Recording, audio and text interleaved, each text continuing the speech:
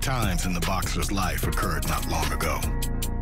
Preceding the 2019 loss to Yordenis Ugas, Figueroa had been arrested for driving under the influence just the year before.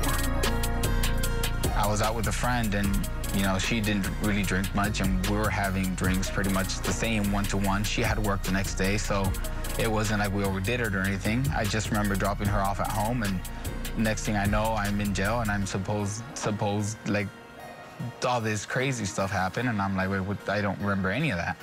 It's just been unfortunate.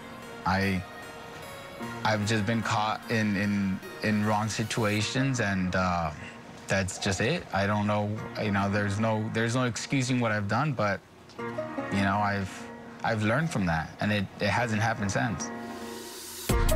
Figueroa has not consumed alcohol in years now. And the fighter has noticed a corresponding improvement in his performance as well as his outlook. The main thing is uh, honestly just not feeling like crap the next day. You wake up and you're good. You know, you just that's what, what really blows my mind. You don't feel bad. You don't feel bloated that same night. Like, like life is just better without it, honestly.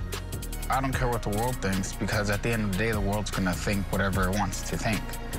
You know, it's to pick up whatever signs or whatever part of me it wants to pick up and it's going to make whatever assumptions it wants and it's going to create its own reality.